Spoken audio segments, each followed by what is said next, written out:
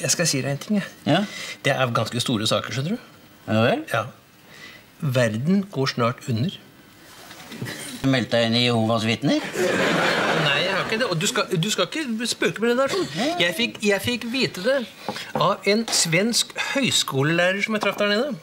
Ja vel, Han var på ferie, han òg? Nei, han var ikke det, tenk. Han var på semester der nede. Ja vel. Er du klar over det, Carl? At det er hull i ozonlaget? Eller hull, da, som han sa. Sa han det, du? Ja, Har du hørt det før, du, kanskje?